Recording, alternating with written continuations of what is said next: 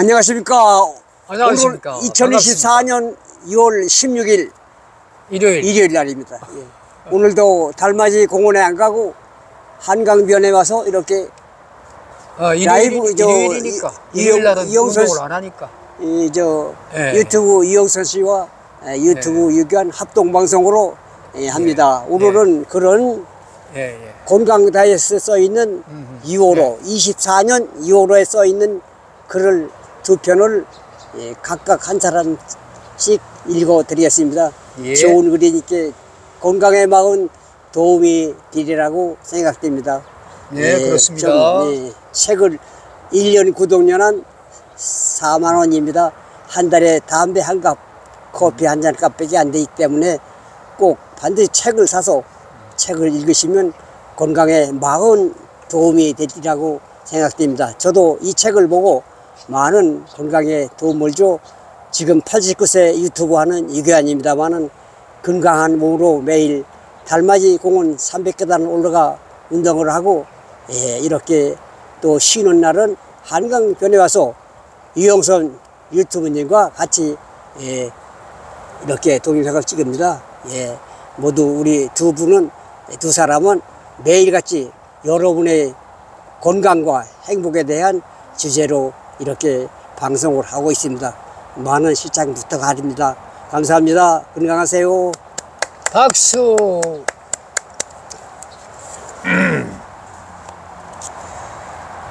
네, 오늘은 에, 제가 저도 그림을 그리는 화가인데요. 화가 한 분의 어, 그림을 보여주지. 예, 건강을 예. 어, 건강을 어, 어, 회복하고 췌장염 또는 췌장암으로부터 어, 확실하게 어, 건강을 되찾은 그 사연을 전해드리도록 하겠습니다. 2024년 희망가 췌장염에서 췌장암으로 발전했는데 김경렬 화백의 소망은 김경열. 아, 네, 화실에 가서 그림 그리고 싶어 맨발 걷기도 하고 엮기도 듭니다. 홍익대학교 응용미술학과를 졸업했습니다. 평생 그림만 그렸습니다. 나무 연작 그림으로 유명세도 얻었습니다. 붓을 들어야만 비로소 살아있다는 느낌이 든다는 화가. 90%. 그런데 지금은 화실에 가지 못하고 있습니다. 즐겨 그렸던 유화 대신 수채화를 그립니다. 2022년 8월 췌장암 수술을 한 것과 무관하지 않습니다.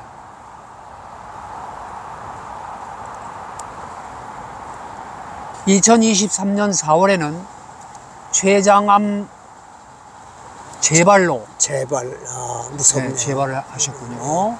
일주일에 한 번씩 항암 치료를 하고 있습니다. 아, 고생 많이 하시네요. 어. 네, 저는 이 제목만 읽고 어, 이러한 췌장암을 완전히 극복하신 사례인 줄 알았는데 현재 투병 투병 중에 열심히 이겨내고 계시는 사연을 적었군요.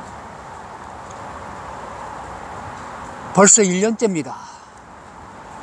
암 세포는 보이지 않지만 항암 치료는 계속 해야 한다고 했습니다. 예.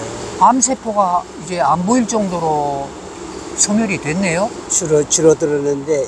아니 안 보인다고 그랬어요. 예. 그런데 항암 치료를 계속 한다? 예. 어허. 그건 좀 이상하네요. 벌써 1년째입니다. 그러면서 많은 것이 달라졌습니다. 화실에 가기도 힘들어졌습니다. 그래서 집에서 그림을 그립니다. 과정이 힘든 유화는 그리기 힘들어서 비교적 간편한 수채화를 그립니다. 지금 단 하나 소망이 있다면 화실에 가서 유화를 그리고 싶은 것이라고 말하는 김경렬 68세 아, 화백을 김경렬 만나봤습니다. 68세. 예. 네. 허미숙 기자의 기사입니다. 제가 약간 추워서 외투를 입도록 하겠습니다. 예. 우리 미안합니다.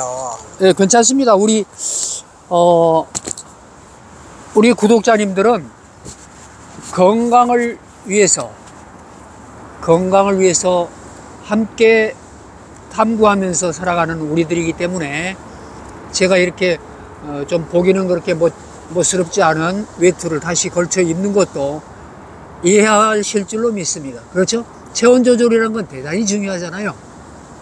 체온 조절, 그렇죠? 대단히 중요하죠? 네. 따뜻하게 해야지. 자, 몸을. 계속 읽겠습니다. 몸을 따뜻하게 해야지. 2021년 12월에 자전거 타고 전국을 다닐 때였습니다. 3일 밤낮을 달리기도 했습니다. 과로했네. 과로가 무섭습니다. 예, 과로. 예, 과로는 정말 밤낮으로 달렸다고. 예, 자전거. 뭐, 이- 이- 이렇게 무리를 하니 예. 그래서 뭐든지 지- 예, 과하면 안 고생하시- 됩니다. 예. 목적은 단 하나. 전국 각지의 거수목을 보기 위해서였습니다. 고수목 예, 큰 나무를 큰 보기 나무를. 본다. 예. 나이가 나이가 많고 큰 나무들. 68세 내 예, 자전거 예, 타고 예. 전국 이분이 나무 연작이라는 어, 그런 주제, 나무를 주제로 해서 그림을 그리는 쭉 사람이 그려왔던 분이네요. 나무 연작이니까. 예? 이제 그걸로 유명세를 탔으셨으니까. 거수목을 찾아 전국 방방곡곡으로 스케치 여행을 다녔습니다. 화가로 입문한 지 얼마 되지 않아 나무는 영감의 원천이 되었습니다. 하늘과 땅 가운데 서 있는 나무는 사람의 일생과 맞닿아 있다는 생각을 많이 했습니다. 나무의 봄, 여름, 가을, 겨울 겨울은 사람의 생로병사와 같다는 생각도 많이 했습니다. 봄, 여름, 가을, 겨울 맞춰서 사, 생로병사. 사계절 예. 자전거 타고 전국 방방곡곡으로 오래된 거수목을 찾아다녔던 이유입니다. 거수목 지도를 만들어가며 스케치 여행을 다녔습니다. 나무 그리는데 미쳐서 사신 분이네요. 예. 아, 정말 너무 그렇게 과해서. 살아온 지도 어느덧 30여 년. 화가로서 독창적인 예술혼도 불태울 수 있었습니다. 사실적인 묘사부터 상징과 은유의 나무까지 수천 점의 나무 연작을 선보이며 불세출의 명생을 명성을 명성을 얻기도 했습니다. 제가 공부하고 있는 우리 스승 박득순 화백은 예. 나무에 미친 게 아니고 한때 배에 미쳐서 살았어요. 배 그린데 미쳐서 살았다니까요. 흑산도 사나이라 아니 황새를 잘 그리더라고 또 또 새도 잘, 그- 뭐 지금은 다들 잘 그리는데 새, 새 그리는 사람이 음, 다잘 그리시는데 그리고 이제 아, 읽겠습니다. 아침에 눈 떠서 저녁에 잘 때까지 그림만 그려도 실증이 나지 않는 김경렬- 나지 않았다는 것입니다. 김경렬 화백에게 위기가 닥친 것은 2021년 12월 어느 날이었습니다. 연말이라 송년회가 찾았습니다. 아 송년회 음, 송년. 또술 먹나 보다 또 아, 또 이런 양반들이 또 술 잘 드시는 분도 많아요. 안 그런 분도 있지만 창자가 있었지. 창작의 스트레스를 종종 술로 풀 만큼 술도 즐기는 편이었습니다. 그러던 어느 날이었습니다. 예. 과로 플러스 술. 술 플러스 과로. 아니 술 안 써있어요. 그러던 어느 날이었습니다. 갑자기 배가 아팠습니다. 허리가 돌돌 말릴 정도로 통증이 심했습니다. 아 허리가 아이고 저런 허리도 못 펴고 숨쉬기도 힘들었습니다. 가요. 곧바로 동네 병원으로 갔습니다. 이것저것 검사를 하더니 큰 병원으로 가라고 야단 났네. 야단 났어. 일산병원 응급실로 달려간 이유였습니다. 빨리 입원을 하라고 했고 입원 후 알게 된 병명은 췌장염이었습니다. 치장염, 치장염은 암까지는 안 갔었네요. 치장염은 음. 참 힘들어요. 기장암, 췌장암이 시- 아니고 염. 시작이 되는 겁니다. 그 시작. 15일 동안 입원 치료를 하고 퇴원을 하면서 이제 별일 없겠지 했습니다. 이 별일 없겠지 이게 문제예요. 그게 문제지 뭐. 그런데 8개월 정도 지났을 때였습니다. 정기 체크해서 이상한 말을 들었습니다. 김경렬 화백은 췌장염이 암으로 바뀐 것 같습니다. 라면서 야, 낫났네, 야, 낫났어. 2기 내지 3기로 추정된다는 삼기 아이, 말을 했습니다. 췌장암이 생겼다는 거였습니다. 처음에는 실감도 되지 않았습니다. 하지만 췌장암 수술을 하면서 정신이 번쩍 들었습니다. 뻘쩍 들었겠지. 김경렬 화백은 2022년 8월 복부를 20cm나 절개해서 장장 13시간 동안 췌장암 수술을 했습니다. 췌장머리를 잘라내고 12지장도 잘라내고 담도도 잘라내면서 빈속이 무슨 일이야. 66 나이에 닥친 그 고통은 말로 다 못합니다. 몸을 톱으로 자르듯 고통스러웠습니다. 몸을 두 동강 낸 것처럼 아팠습니다.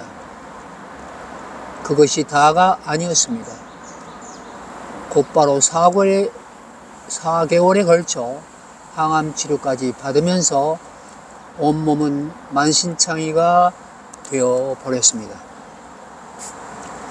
김경렬 화백은 2023년 1월 항암 치료가 모두 끝났을 때 더 이상 암세포는 보이지 않는다고 했지만은 단지 몇 개월 만에 뼈만 앙상하게 남아 몰골은 참으로 심각하게 변해버린 것이 믿어지지 않았습니다.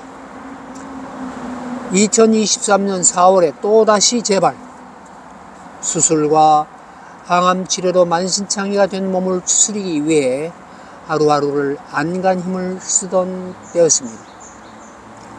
2024년 4월 정기 검진 날이었습니다. 그런데 담당 의사가 또다시 이상한 말을 했습니다. 췌장 가운데 부분의 암세포가 보인다고 했습니다. 그 힘들어요. 목과 배 부분에도 암세포가 보인다고 했습니다. 전이 됐군요. 전이 됐어요. 림프를 타고 전이 된 것 같다고 했습니다. 몸 세 군데에 암세포가 퍼져 있다는 거였습니다. 그러면서 하는 말은 더 암담했습니다. 암세포가 여러 곳에 있어서 수술은 못한다고 했습니다. 항암 치료밖에 다른 방법이 없다고 했습니다. 김경렬 화백은 납득이 안 됐습니다. 항암 치료가 끝난 지 3개월 만에 또다시 암? 그것도 한 군데가 아니고 세 군데나 도저히 이해가 안 됐습니다. 그렇게 힘든 항암 치료를 받았는데 또다시 암이라는 말에 화도 났습니다. 하지만 다른 선택지가 없었습니다. 병원에서 하자는 대로 할 수밖에 없었습니다. 2023년 4월부터 또다시 항암 치료가 시작됐습니다. 일주일에 한 번씩 항암 치료를 하면 된다고 했습니다. 김경렬 화백은 매주 목요일마다 항암 주사를 맞기 시작하면서 크고 작은 부작용도 함께 나타나기 시작했습니다. 몸의 털이란 털은 다 빠지면서 예전의 모습은 온데간데 없이 사라져 버렸습니다. 아침에 눈 떠서 저녁 잠자리에 들 때까지 그림만 그렸던 생활도 못하게 됐습니다. 그나마 다행인 것은 3개월마다 체크해서 암세포의 크기는 점점 줄어들고 있다고 했습니다. 2023년 7월 검사에서는 3cm였던 암세포가 8mm로 줄어들었다고 했습니다. 2023년 11월 검사에서는 암세포가 현미고로 봐야 할 정도로 줄어들었다고 했습니다. 2024년 2월 검사에서는 더 이상 암세포를 찾아볼 수 없다고 했습니다. 그렇다고 해서 또 완치는 아니라고 했습니다. 육안으로- 보이는 암세포는 없지만은 보이지 않는 보이지 암 않는 암세포가 예. 있을 수 있으니 항암 치료는 계속해야 한다고 했습니다. 원래 암세포는 하루에 5천 개씩 계속 생성이 됩니다. 그리고 또 소멸이 됩니다. 줄어들기도 하고 생성도 예. 하고 김경렬 화백은 매주 목요일마다 항암 치료를 받고 있지만은 언제까지 계속해야 할지 기약이 없어서 힘들다고 말합니다. 화실에 가기 위해 날마다 하는 것들. 일주일에 한 번씩 항암 치료를 받은 지도 어느덧 1년이 흘렀습니다. 정기 검진에서 암세포는 보이지 않는 상태이지만은 2024년 5월 현재도 일주일에 한 번씩 항암 치료를 받고 있습니다. 자. 그러면서 달라진 점도 많습니다. 머리털이 다 빠져버렸습니다. 머리털이 빠졌네. 눈썹이 다 빠져버렸습니다. 속눈썹이 다 속눈썹까지 빠졌습니다. 코털이 다 빠졌습니다. 그래서 이제 불편한 점도 한둘이 아닙니다. 속눈썹이 없으니 눈곱이 끼고 눈이 가려워서 고통스럽습니다. 참 아, 참. 코털까지 코털이 없으니 콧물, 가래가 쉴 새 없이 흘러나옵니다. 그러나 이 정도는 얼마든지 견딜만 합니다. 가장 고통스러운 것은 따로 있습니다. 김경렬 화백은 일주일에 한 번씩 항암 치료를 하다 보니 몸에 힘이 없어서 화실조차 가지 못하고 있는데 그것이 너무 속상했습니다. 아침에 눈 떠서 저녁 잠자리에 들 때까지 그림을 그려도 실증이 나지 않던 그였습니다. 30년이 넘도록 그림만 그려도 질리지 않았던 그였습니다. 그런데 지금은 그럴 수가 없습니다. 화실에 갈 수가 없습니다. 하루 종일 붓을 들고 살았던 생활이었는데 이제 힘에 붙여서 그걸 할 수가 없게 된 것입니다. 김경렬 화백은 언젠가는 꼭 화실에 가서 수채화 대신에 유화를 그리는 희망으로 살고 있다며 그러기 위해 날마다 먹거리도 가려먹고 운동도 하면서 건강관리를 하고 있다고 말합니다. 그런 그가 알려주는 김경렬 화백표 항암 생활은 다음과 같습니다. 그 이번 이분의 투병 생활 자체를 소개하는 기사네요. 그런데. 이분이 항암 치료로 말초 신경이 손상돼서 손반이 저리고 걷기도 힘듭니다. 그렇다고 붓을 놓은 것도 아닙니다. 집에서 그림을 그립니다. 오래 그리도 그리지 못해도 날마다 붓을 들었다 놨다 합니다. 유화 대신에 시추아리를 그리는 것도 달라진 점입니다. 유화는 과정이 복잡해서 힘이 붙입니다. 예. 근데 유화는 중요한 것이 그 물감이 석유로 만든 석유, 석유 화학 계열의 물감입니다. 그럼 뭐 좋지 않네. 이거. 네, 그래서 휘발유라든가 이런 신나 같은 이런 걸로 음. 어, 그 물감을 용해서 아, 그리는 것입니다. 그래서 이분이 유화화가로서 수많은 세월 동안에 나무를 그리면서 그것도 아까 읽었지 않습니까? 3일 동안을 자전거를 타고 너무 과로했어요. 밤도 한숨도 안 자고 3일을 자전거를 탔대잖아요. 젊었을 때. 그- 그것이 잘못이죠. 예, 예. 그 열정도 고맙고 중요하지만은 너무 과했습니다. 절대로 아, 과는 네. 되지 않습니다. 첫째, 먹는 것을 중시합니다. 예. 어, 지금의 현 이분의 생활을 소개한 것입니다. 아침 식사로 매일 채소, 과일 21가지를 먹습니다. 어, 열한 스물한 가지 예. 21가지. 채소 과일 브로콜리, 당근, 양배추, 상, 양상추, 고구마, 사과 등등 무려 21가지를 먹습니다. 대단하다. 주스로 갈아서 먹는 것도 있고 샐러드로 만들어서 먹기도 합니다. 아침마다 준비 준비하느라고 고생하는 아내에게 고맙고 미안한 마음뿐입니다. 예. 참 이 집 사모님 대단하신 한 분이구나. 사람 식구가 가족 중에 한 사람만 아프면 그러게 말입니다. 점심과 저녁은 잡곡밥을 먹습니다. 두부, 김치, 된장찌개, 콩 등으로 식사를 합니다. 붉은 고기, 기름진 음식, 단 음식, 밀가루는 일절 먹지 않습니다. 둘째, 날마다 운동을 합니다. 유산소 운동과 무산소 운동을 병행합니다. 헬스클럽에서 1시간 정도 근력 운동을 합니다. 엿기도 들면서 오후에는 집 근처에 있는 야산에 가서 1시간 30분 정도 맨발 걷기를 합니다. 맨발 벗기가 나오네. 예. 맨발 걷기 1년쯤 됐습니다. 맨발 걷기를 하고 있는 사람들을 보고 하기 시작했는데 지금까지 꾸준히 실천하고 있습니다. 나름대로 공부도 해가며 맨발 걷기를 하는 편입니다. 김경렬 화백은 맨발 걷기를 하면 땅의 음이온과 몸의 양이온이 만나 활성산소를 없애고 피가 맑아지고 면역력이 높아지는 것으로 알려져 있지만 가장 먼저 실감한 것은 불면증이었습니다. 아, 불면증이 없어졌다는 거죠. 평생 수면 유도제를 먹고 살았는데 맨발 걷기를 하면서 그 한두 달 만에 불면증이 사라졌다고 말했습니다. 수면이 중요하지요. 수면.